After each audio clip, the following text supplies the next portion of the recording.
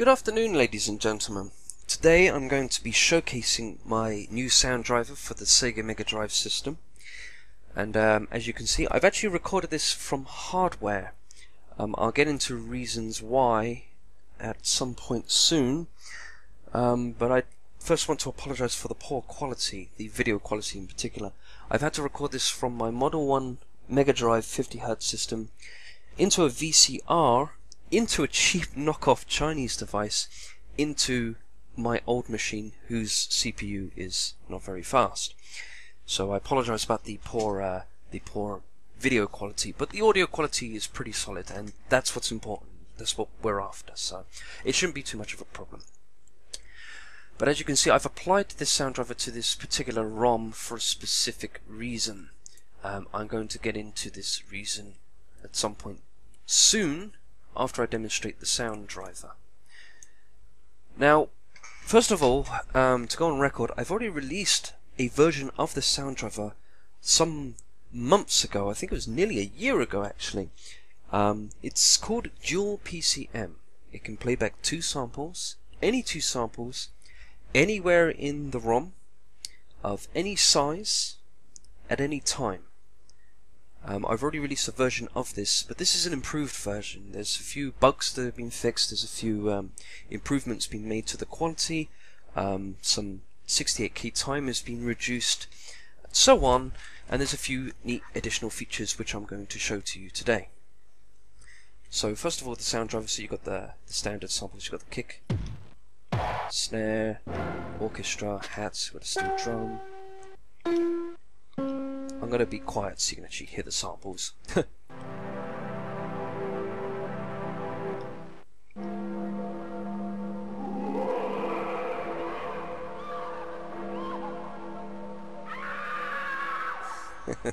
I like that sample. So as you can see, it can play back samples um, quite modestly. Uh, here's an extra long sample. I'm also going to play a few samples on the other channel as well, just to demonstrate.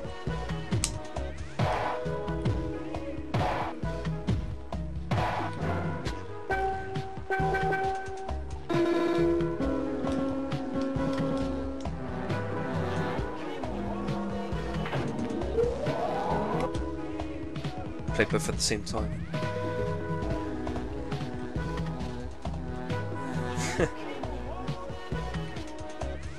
I'm gonna stop these right now.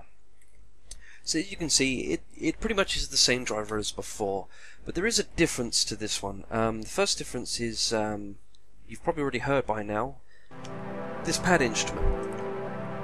This is not a really long sample, this is actually two small samples. The first sample is the beginning part where the volume fades in, and the second part is just a small continuous playback sample that loops over and over and over again. The driver is looping this sample, playing it over and over and over again, infinite number of times.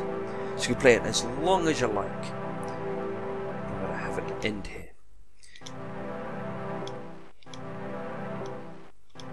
Now, some musicians out there will find this very, very useful. I know that some of you record real life instruments and you like to loop the end of it to have it continuous forever and ever. So that's what that's for. We also have in this version the ability to control the pitch. But it's a very gradual, it's very smooth. It isn't like instant.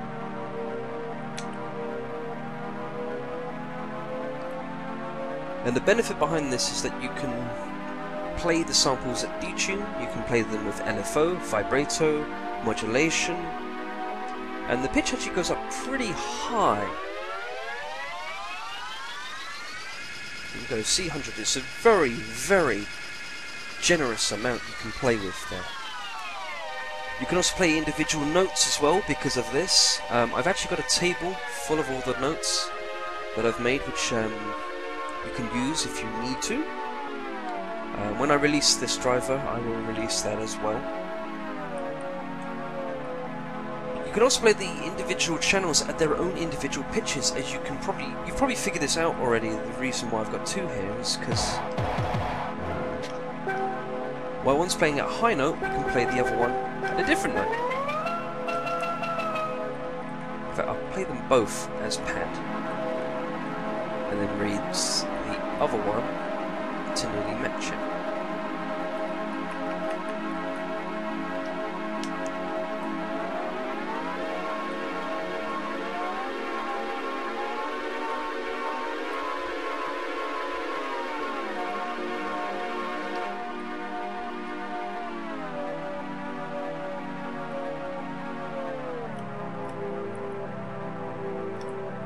To put these down to zero actually. I'll put that one at 75 that way. We've also got volume control here as well, so you can make them quieter. Very gradually quiet.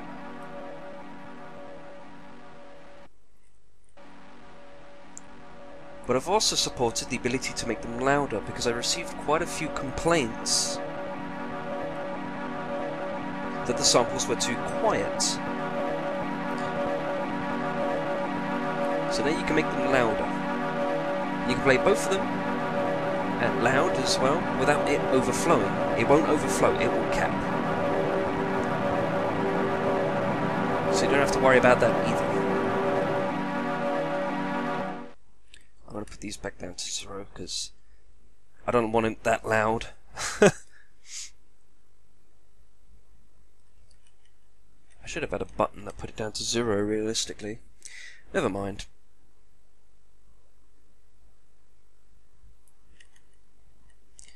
So you've established here we can play them at different pitches, we can play them at um, different volumes. Um, there is another benefit here I'm going to show. I'm going to play it with this um, piano tune. You can always see it's a, quite a high pitch, so I'm going to lower this pitch. And as you can see, we can make it lower than zero, we can bring it really right down. So you play low notes as well as high notes as well. And bring it all the way down until it reaches a complete stop. But it gets better. We can play them in reverse.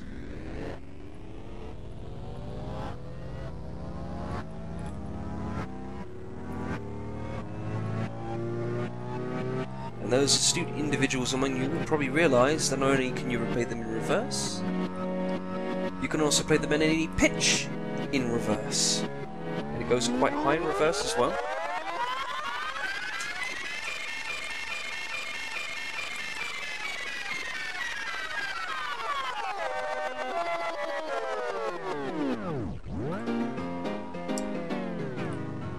And this can be quite handy at times actually. I'm going to play a sample in reverse, a few samples in reverse so you can hear them. Why not?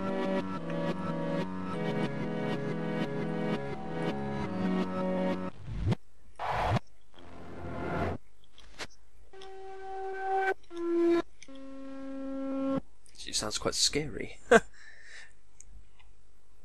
Put this one back to zero. Now, there are other benefits you can put to use for this, such as uh, certain phasing effects. So I'm, I'm going to play this uh, sample here called Mystic Composer. I'm not going to put it too high. Would say about maybe 40.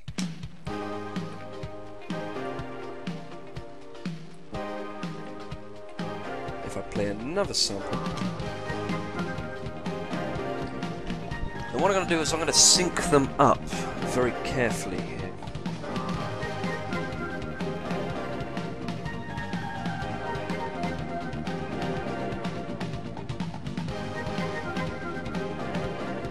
here. I going the wrong way?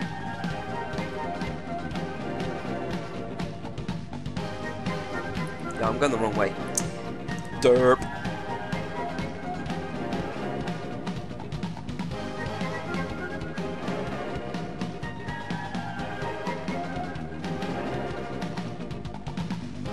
There we go.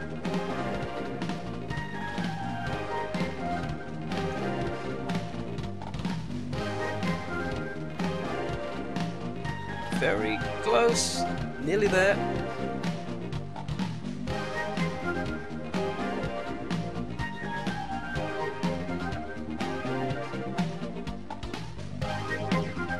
There we go. Now we're ahead. Bring it back. Listen to that phasing effect, it's lovely. But we can also do some echoing as well. This down to say 20.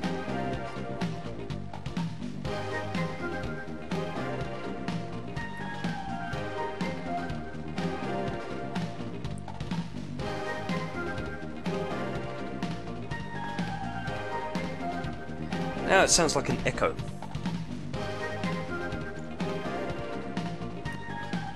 Turn that off for now. I'm just here to demonstrate that there's a whole range of different possibilities now. Now that you've got pitch control, volume control, reversal, playback, and so on, there's a whole range of possibilities. So getting on to the, the, the main purpose as to why I've recorded it from hardware. So you, you're probably wondering why. I'll tell you. Many Mega Drive games that play on the Mega Drive and play sample data tend to have um, a major quality loss. is some sort of horrible noise that occurs. And this is because there's a whole load of Z80 stops. The Z80 is usually the sub CPU that's usually responsible for playing back audio. You can play back with the main CPU, but that's neither here nor there for this moment. But it's the Z80 if it's playing back sample data and you have to stop the Z80 for whatever reason, you're going to end up with these horrible, horrible, choppy noises. And I'll, I'll demonstrate it to you, in fact. Uh, the same thing can happen when the DMA transfer is going, because the Z80 cannot access the 68k memory space when it wants to copy the samples through. Um, so I'm going to turn DMA on while a sample is playing. We'll play um, play Mr. Composer again, because why not? turn DMA on, we'll increase the DMA uh, transfer rate.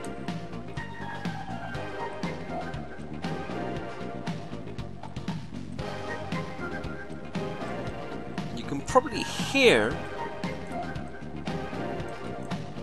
just about 2000 bytes of transfer. It's starting to sound a lot like other Mega Drive games.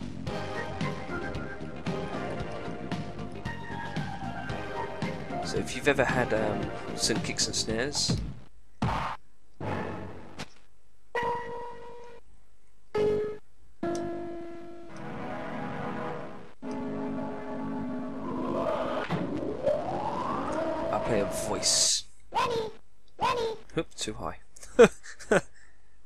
uh, play that back to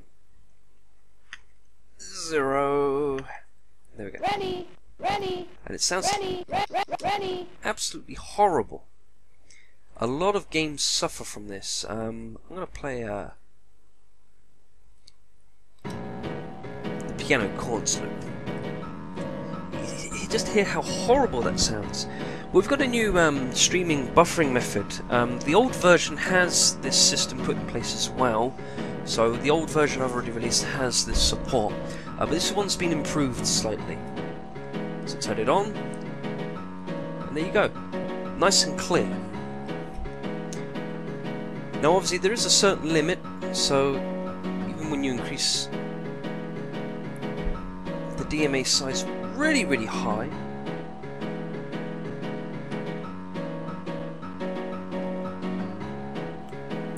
so nearly all of V blank,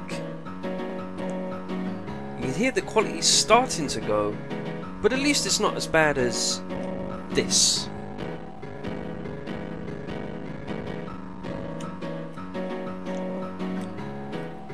But that's the reason why I wanted to show you on um, on a 60 hertz system because this was specifically designed to handle 60 hertz.